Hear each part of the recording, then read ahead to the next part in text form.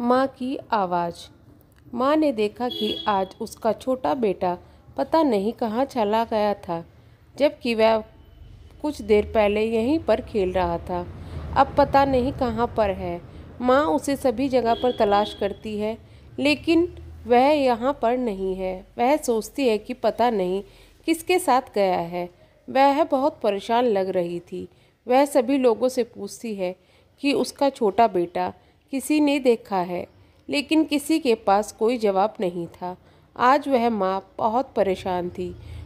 वह अपने बेटों की खोज में निकल गई। एक जंगल की तरफ़ जाती है, जिस जगह पर उसे लग सकता है कि वहाँ उसका बेटा जा सकता है। वह देखती है कि उसका बेटा किसी जगह पर हो सकता है। माँ बहुत परेशान थी। वह अपने बेटे को आवाज़ लगा देती है, लेकिन उसे नहीं लगता है। कि वहाँ बेटा उसका है। अगर वह वहाँ पर होता तो माँ की आवाज़ को ज़रूर सुन लेता, लेकिन माँ की आवाज़ नहीं सुना रहा था। माँ को खोजते हुए वह बहुत दूर निकल जाती है।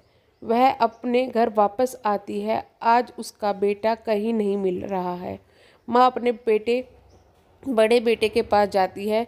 शायद उसे पता हो कि वह किस जगह पर गया है, लेकिन जब उसे पूछा गया तो वह भी मना कर देता है, क्योंकि उसे पता नहीं था वह कहाँ गया है। कुछ समय बाद ही एक आदमी आता है, उसके पास उसका छोटा बेटा था।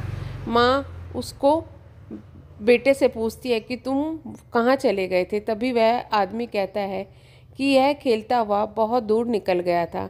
मैंने इसे देख लिया, तभी पता चला कि यह तो आपका बेटा है, इसलिए मैं इसे वहाँ पर से उठाकर आपके पास ले आया। अब माँ को सब कुछ पता चल गया था माँ ने अपने बेटे को समझाया था कि तुम्हें किसी, ऐसे किसी भी कहीं पर नहीं जाना था।